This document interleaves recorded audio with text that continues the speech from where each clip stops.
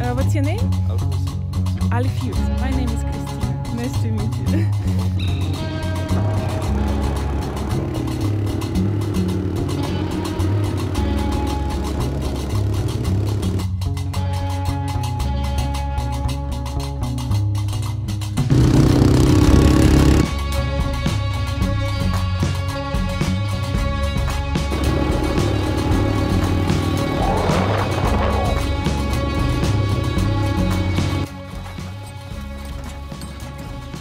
Всем привет, друзья! Это Кристина, и я продолжаю с вами делиться тем, что со мной происходит, когда я вдруг решила отправиться в Африку, а, конкретно в Намибию, пожить тут пару месяцев на ферме и понаблюдать за местной жизнью.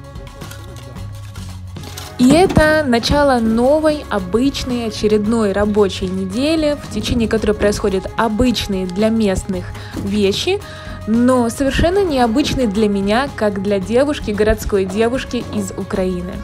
И этим я с вами буду делиться в этом выпуске. Доброе утро из Африки, с африканской намибийской фермы. В общем, нагрузили сегодня а, настолько сильно. Bye-bye, see you.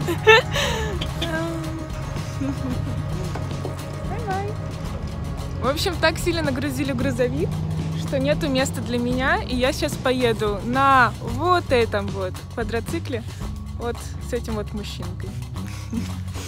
В общем, вот такие приключения фермерские. Еще раз быстренько покажу видео и быстренько расскажу, что же сейчас происходит. А происходит то, что очень скоро, дней через 10, будет э, местное такое собрание фермеров, это будет как праздник, и э, рабочие должны построить на территории лоджии, достроить специальную э, печь для гриля, и поэтому все строительное оборудование перевозится отсюда в отель. Okay, it's my second time when I'm going on this. what's your uh, What's your name? Alphys. Afus. Alpheus. Alfius. My Yeah. name is Christina. Nice to meet you. Oh.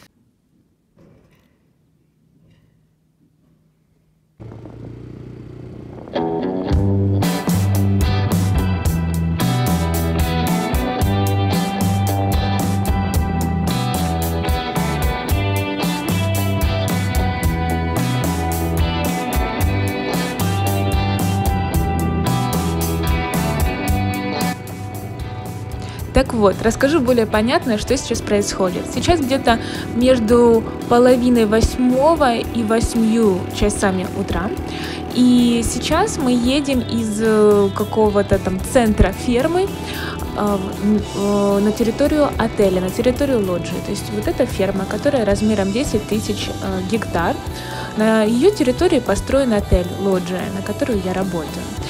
И работы э, ведутся по всей ферме, где-то рабочие что-то строят, где-то что-то там за животными следят. И вот только что мы уехали с места, где строился, в общем-то, туалет.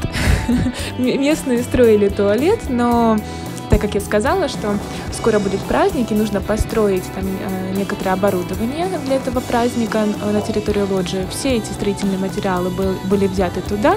И вот сейчас один из работников по имени Альфиус, тут много работников, я не всех знаю, но позже я уже и побольше узнала Альфиуса, мы чаще виделись. Э, Альфи, у Альфиуса есть вот такой вот свой квадроцикл, который мы дали хозяева, чтобы было ему проще э, передвигаться по ферме, потому что его домик находится немножечко в стороне от э, остальных домиков для рабочих. Его тяжелее утром, вот сложнее на машине забирать, легче просто ему дать квадроцикл, чтобы он самостоятельно передвигался по ферме. И, в общем-то, на этом его квадроцикле мы сейчас и передвигаемся, и он меня вот таким образом подвез э, в лоджию на мое рабочее место. Ну что, сегодня я вот таким интересным способом добралась до работы, до своего, до своей творческой мастерской художественной. И сейчас будем вот этого мужчинку сегодня еще больше украсивлять. В предыдущем выпуске я вам уже показывала, что я начала делать на прошлой неделе. То есть, еще раз повторюсь, через 10 дней нас ожидало такой вот как бы местный фермерский праздник для фермеров в конце года. И к этому событию мы все готовились вот, э, за вот эти вот две недели, две недели за 10 дней. И я начала, а, значит, реставрировать вот такое вот э, меню, которое купили хозяева для отеля. Кроме этого, я делала разные другие такие как бы декорации для этого праздника, и на этой неделе я это все заканчиваю. Сегодня у меня такой красивый завтрак. С ним были туристы, и мне приготовили завтрак и подали как для туриста. Вот с таким вот видом. Класс.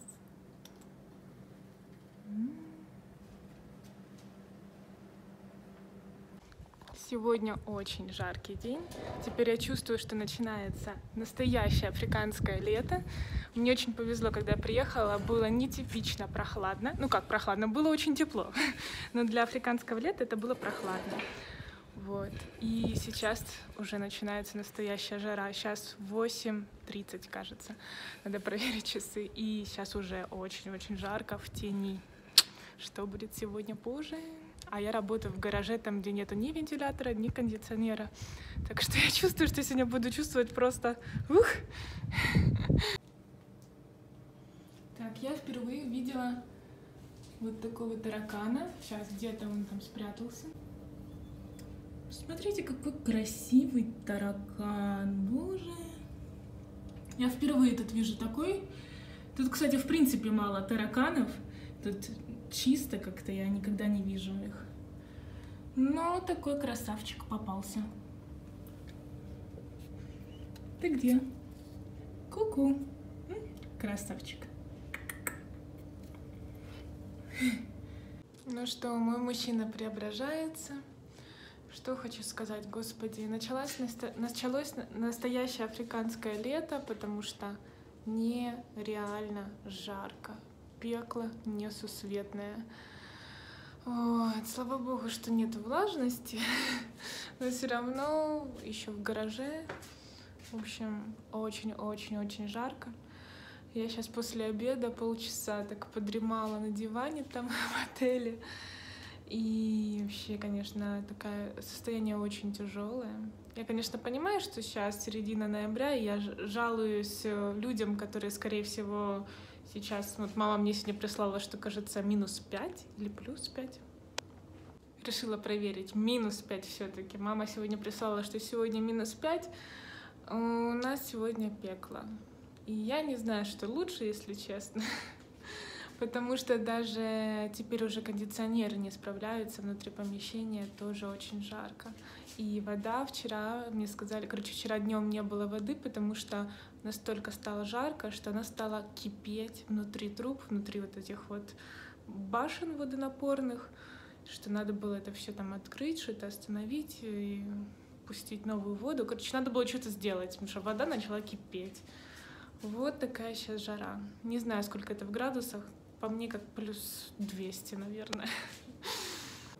Итак, на этой неделе я закончила этого повара, и сейчас вам покажу, что же я с ним делала. Вся работа заняла у меня пару дней, и на прошлой неделе вот он был вот в таком вот виде, тут отколуплены части, я должна была их заполнить филлером специальным, это выглядело вот так вот, я еще разные материалы пробовала, чем это все заполнить. После мне нужно было это все затереть наждачной бумагой для того, чтобы это все было гладенько, и я потом могла приступить к покраске. Вот таким образом я это все а, вот замаз, э, за, затирала. Это тоже очень много времени на самом деле заняло. Особенно эти усы вылепливать новые с губами. Вот таким образом это все в итоге выглядело до покраски. И после этого его надо было покрасить. И сначала это была однотонная краска, специально нужно было замешать нужный подходящий цвет. И в итоге покрасить его в три, а где-то даже четыре слоя, для того, чтобы это все выглядело равномерно. А после уже добавить детали и там румяна, нарисовать брови, все эти мелкие-мелкие детали. В общем, вот такой результат вышел. После всего этого вот такой вот мужчина, как новенький. Ну вот, посмотрите, какой красавчик. Как будто бы с ним ничего и не было. Усы, губы, все в норме, и все вообще выглядит замечательно. Ну что ж, я наконец-то довела до ума своего мужчинку для меню. Потом позже покрашу тут это специально это черная краска, чтобы можно было писать мелом. И ну, я думаю, все. В общем, вот такой вот отреставрированный мужчина вышел. И вот так вот э, мой повар выглядит в применении на следующей неделе, когда уже был вот этот вот праздник э, встречи местных фермеров.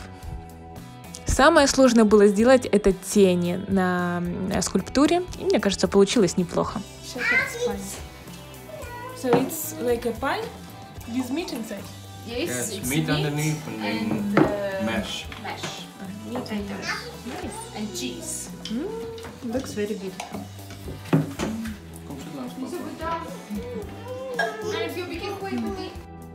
Так, это один из ужинов, это вот так вот мы ужинали. А, это очень традиционное местное блюдо, то есть а, картофель, либо макароны внизу, потом говядина, фарш говядины, и потом сверху сыр. Все это запекается в духовке. Очень-очень вкусно, что-то очень традиционное намибийское.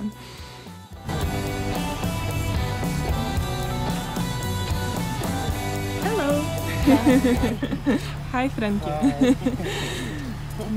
Так, сегодня нагрузили кирпичами а, грузовик, чтобы отвезти а, в лоджию и сделать а, чтобы отвезти в лоджию и построить гриль. Такой, ну, как не совсем гриль, а как духовку. В общем, строить сейчас новое место, и вот сейчас перегружаем разные а, строительные материалы туда. Рядом со мной находятся Элизабет и Фрэнки. И вот это так, как мы обычно передвигаемся по ферме на джипе, вот так вот стоя на крыше. А вот это мы снова приехали сюда. Мы уже с вами тут были в начале этого видео. А, это тот самый туалет, который тут строится, кажется. И рядышком, сейчас вот мы увидим, вот это строится а, такой навес специально для clay pigeon shooting. Я не знаю, как точно это перевести правильно на русский, потому что буквально это переводится как стрельба по глиняным а, голубям, но по факту это называется стрельба по тарелочкам. Знаете, такой ставится специальный автомат, выпуливает тарелки, и ты должна попасть по этим тарелкам. На следующей неделе при встрече фермеров вы это все увидите. И вот пока что это в таком вот а, полудостроенном виде. Мы сейчас тут взяли какие-то материалы, какие-то привезли, и дальше вот поедем в лоджию.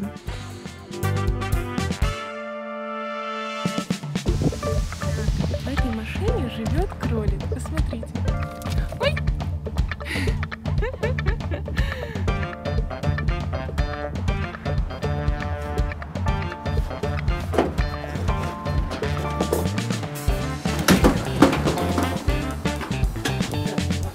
Мой очередной завтрак. Завтракаю я всегда в лоджии в районе 8 часов. То есть приезжаю, немножко поработаю, проголодаюсь и сяду за завтрак. Вот с таким чудесным видом.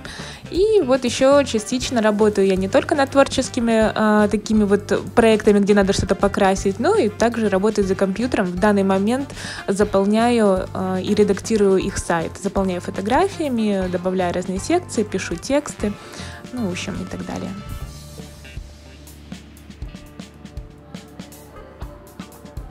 Для меня это был мой первый опыт такой вот работы с э, сайтами. Мне, для меня он был очень интересен, потому что мне дали полную свободу. То есть я, в принципе, придумывала сама, какие должны быть там секции, смотрела примеры. И сама со своим английским, который, я должна сказать, довольно свободный, но не очень грамотный, все это писала. И, в общем, каким-то образом вроде бы как и неплохо получилось, и они остались очень довольны. Кроме этого, вот я уже показывала в одних из выпусков, что я делаю. То есть я еще делала дизайны для а, рождественского предстоящего меню, разные брошюрки. И, в общем, вот такое у меня было рабочее место, когда я работала за компьютером а, вот э, в зоне ресепшена. То есть, чтобы пришли, чтобы э, когда приходят туристы, всегда они видели, что там кто-то есть. Хотя в ноябре было очень-очень мало туристов. Был совершенно не сезон. И вот когда я работала над сайтом, я работала в этом офисе, в офисе Чарда и Карен. Потом, когда я уже буду делать финальное э, видео по этому месту, по этой ферме, я хочу сделать э, полностью обзор всего того, что я делала, потому что очень много дизайнов я сейчас не показываю, но хотела бы вот поделиться тем, что я вообще делала в целом за все мое пребывание. В конце рабочего дня, э, это около 6-7 часов, иногда раньше, иногда позже, мы приезжали к месту, где пасутся овцы, вот это, кстати, перед нами лимонные деревья тут э, выращивают лимоны. И вот перед нами овцы. А мы должны были их загнать обратно в загон и при этом посчитать. Тут, тут около 370 а, овец, что-то в этом роде. И вот э, мы их загоняем туда и считаем все вместе. Ну что я могу вам сказать? Овцы, они и в Африке овцы. Иногда они, иногда они почему-то бегут не туда, куда надо, и, и иногда аж страшно становится.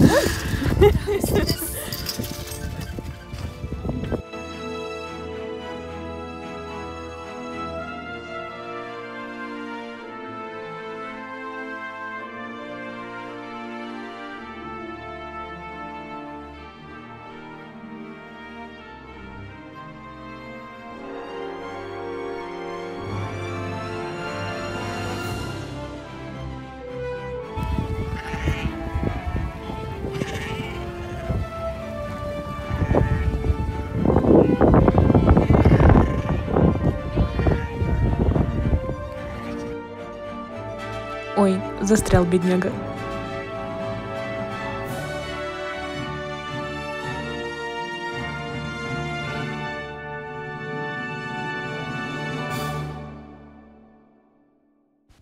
Так, я так и не купила микрофоны, и сейчас очень сильно дует ветер, заглушает мой голос, когда я говорю, что сейчас вот мы должны пересчитать теперь этих всех овц. Я говорю, что я не представляю, как это можно сделать, потому что их очень много.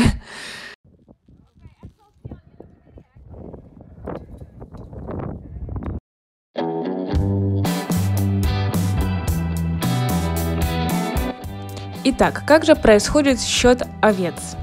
А вот так, перед нами Моисей и Фрэнки. Они находятся у входа в ворота, у ворот в этот загон. Открывают эти двери, чуть-чуть, чтобы они начали вбегать медленно, вот эти вот овцы. И все это время мы начинаем их считать. То есть вот через этот узкий вход иногда они э, немножко призакрывают дверь, чтобы нам было удобно подсчитать всех этих овец. И вот так вот мы стоим их и считаем.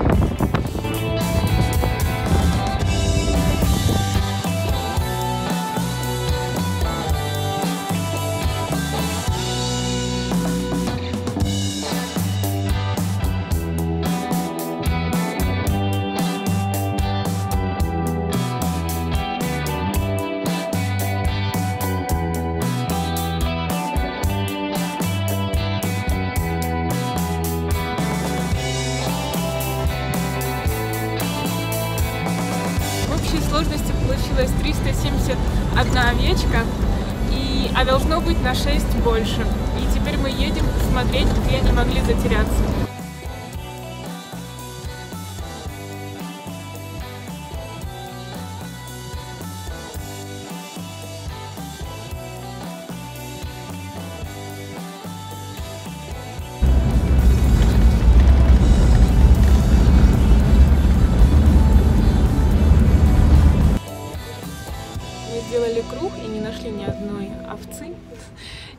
Значит, что, ну, может быть, даже ошиблись в счете. А, и вот если посмотреть по овцам, то они все спокойные. Чаще всего теряются маленькие овечки.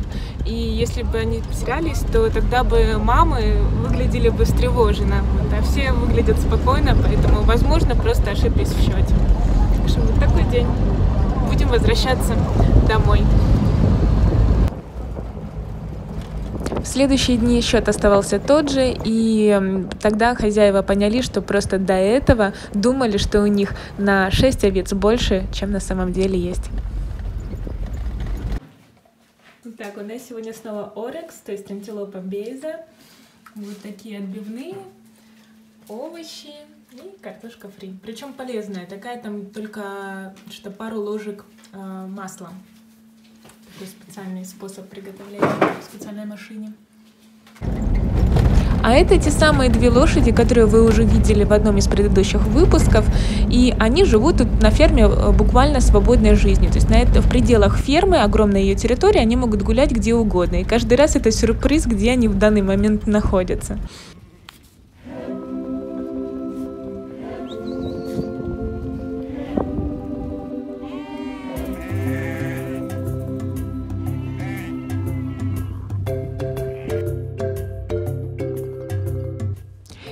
На этой овечьей теме я закончу этот выпуск. Всем, кто досмотрел до конца, огромное вам спасибо. И оставляйте свои комментарии и впечатления. Я знаю, что очень многие передают мне через знакомых, знакомые через знакомых знакомых свои впечатления по поводу просмотра. И мне будет очень приятно увидеть лично от вас комментарии под видео. Таким образом, YouTube увидит, что это видео действительно интересно людям и будет продвигать его немножко больше. Мне будет приятно получить от вас эту поддержку. И в следующем видео будет очень много всего остального интересного. А, будет подготовка к предстоящему празднику и много всяких других интересных местных событий.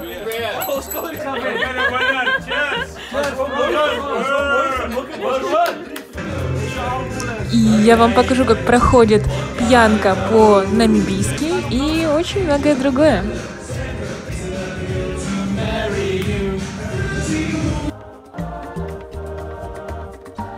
И, как всегда, до очень скорых встреч.